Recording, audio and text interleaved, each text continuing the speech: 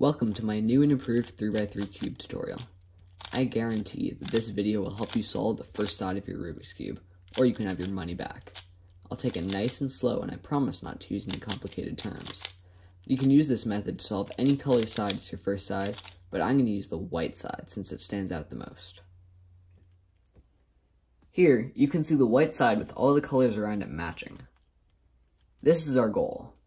It's also possible to complete the white side with the colors not matching, like this. But then, you can't actually solve the rest of the cube. So this is what we're going to do. The first step is called the daisy, because it has a yellow in the middle, and it's surrounded by four white edge pieces, making it look kind of like a daisy. So, let's get started. First, find the yellow center on your cube. It does not matter which colors are around it right now. Now, we're going to look for a white edge piece, meaning a white piece that is not on a corner. You could ignore all the white corner pieces for now. We don't care where they are yet. So first, I'm going to look around the middle layer of the cube for any white edge pieces because these are the easiest ones to put onto the top layer. So here, you can see I have this one that's white and red. And since this piece is facing me, all I need to do is just rotate it up and now you can see that it's on the top layer right next to the yellow center, right where we want it. After we put this piece up, we're going to continue to look around the middle layer to see if there's any other white pieces. And as you can see, there's not. So next, we're going to take a look at the bottom of the cube to see if there's any white edges here in the bottom. And as you can see, there is one right here. So we're going to look the opposite of that, which is right up here, to see if that's a white piece. And as you can see, since it's not, then we can just rotate this side two times. So now it's on the top, right next to this yellow center. If this white edge on the bottom is underneath the white piece, then if we were to rotate it up, you can see that it would knock the other white piece out of the way. So what we're going to do is we're going to rotate that white piece on the top out of the way so that now we can rotate this side up without knocking out this other white piece. And now you can see they're both right next to the yellow center. Next, we're going to look on the bottom layer for any other white edge pieces. So right here, you can see we have a white edge piece that's facing us and is on the bottom. So in this situation, we can't just rotate this part up because then you'll see it's on the side. So for this, what we have to do, we have to rotate this front side one time to put this white edge in the middle layer so that it's just like our first example, where now all we need to do is just rotate it up. But as you saw, we knocked out this other white edge piece while rotating the front, but since this one's also in the middle layer, once again, we can just rotate this up, and now you can see we have three white edge pieces right next to our yellow center. The other way that we can have a white piece is if it's on the top layer already, but it's facing the wrong direction. Because here you can see the white is facing us instead of being on the top.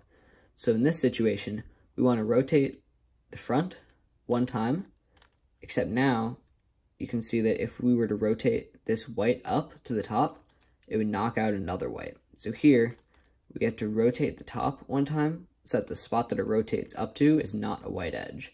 So if we rotate the top one time, and then we rotate the left side, now you can see that that will go up without knocking anything else out.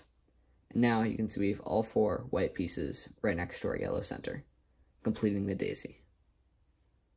The next step is the white cross. This will put the white edge pieces in the right place on the white side. The white side is the side that has the white in the center.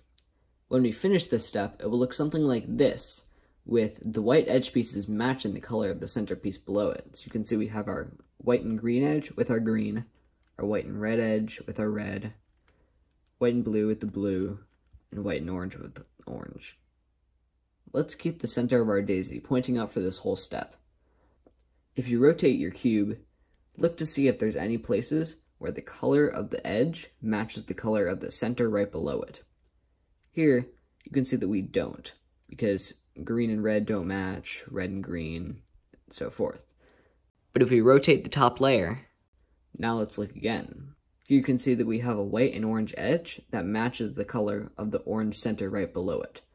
So here, since they match, we want to rotate that side two times to put that white on the bottom. And now, if we look down, you can see that that white edge is right next to its white center and also matches the center on the other side of it as well. That's good. Now, still keeping the daisy on top with its three petals, let's rotate our cube so that another white petal matches the color of the centerpiece below it. So if we rotate around, that doesn't match, but this, this does match. So, since it matches, we can rotate this side two times to move the white piece down to the bottom. And now, once again, if we peek down, we can see that the colors on this piece also match the colors of the centers right next to it. So now, if we look back up to the top with our daisy, with only two petals now, and we look around, we can see that neither of them match the colors. So we want to rotate it once and look again, and still neither of them match. Then if we rotate it again, now you can see that the colors on this white edge match the colors of the center right below it. So once again, we're going to rotate that side two times, down to the bottom, and now you can see that that piece matches both of the centers right next to it. Now we can look around the cube for our last petal, which is right here. And you can see that this also matches. So once again, we can just rotate that side two times down to the bottom. And now, if we look at the bottom of our cube, we can see that we have the white cross and all of the colors of the edges match the centers right below it. So blue with the blue, orange with the orange, green with the green, and red with the red. Our final step to complete the white side is to get all the white corners in the right places. This step will be the easiest if you keep the white side on the top the whole time. The white corner pieces can be in one of four different places. They can be on the bottom layer, around the outside, on the bottom of the cube, on the top layer, facing the top but in the wrong place, or on the top but facing the side. The easiest ones to work with are when they are on the bottom layer around the outside. So let's start there. So if we look along the bottom, then here you can see that we do have one white corner piece that's white, blue, and orange. So the first thing we want to do is we want to move it so that that corner piece is right in between the blue and the orange centers. So if we rotate it like that, now you can see that this piece that has blue and orange is now right between the blue and the orange centers. So next, if we were to just turn it up into its place, then you can see that it knocked out this other white edge, which is bad.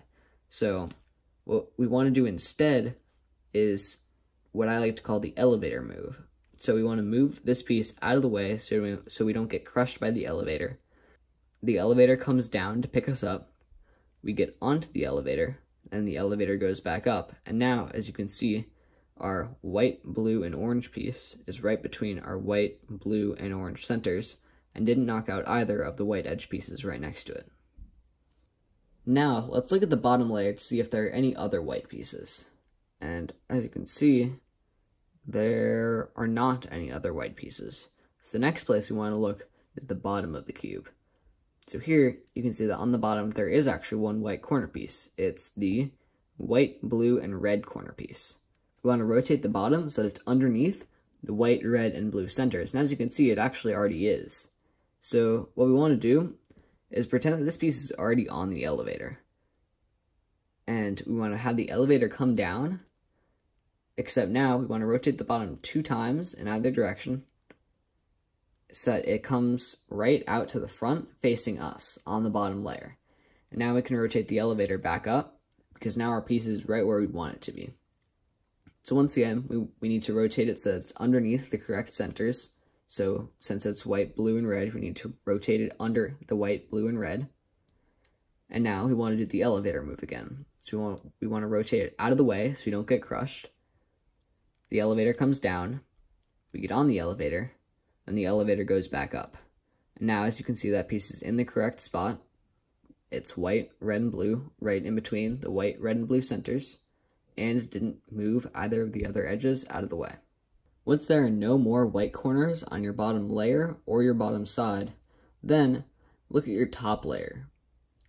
You can see that these two corner pieces right here are already in their correct spot because we put them in there. But these two that are also in the top layer are either facing the wrong way or in the wrong spot. So what we need to do is we need to get this piece onto the bottom layer so that it's easier for us to get into its correct spot. So with the white on the side, we're going to bring the elevator down, get off the elevator so that that white piece is facing you, and then bring the elevator back up. So now it's just like the first example where it's on the bottom layer facing us. So since this piece is white, red, and green, we need to rotate it under the white, red, and green centers. So here, now it's underneath the white, red, and green centers. So once again, we have to have it facing us and use the elevator. So we want to move out of the way of the elevator so it doesn't crush us. The elevator comes down, we get on the elevator, and the elevator goes back up. And now you can see that piece is in its correct place between the white, green, and red centers because it's a white, green, and red corner.